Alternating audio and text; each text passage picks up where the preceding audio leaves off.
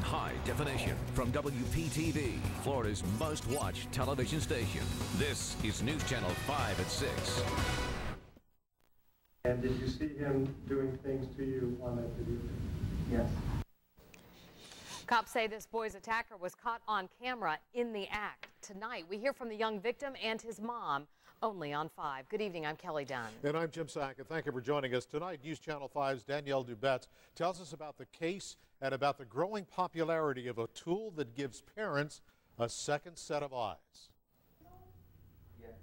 A teenaged boy, we'll call him AB, takes the stand to testify against a former family friend. The boy says when he was 12, his abuser forced him into oral sex in a number of locations. Yes. Where did that take place? Anywhere in his truck, in my bedroom, in the living room where the tape was was taken, and also in his bedroom. In court today, the state revealed how the defendant, William Romine, befriended the family soon after the boy's father had died. He showered AB with gifts and drove him to school. The mother became suspicious and installed a hidden camera. I never thought that I was going to uh, discover something so ugly.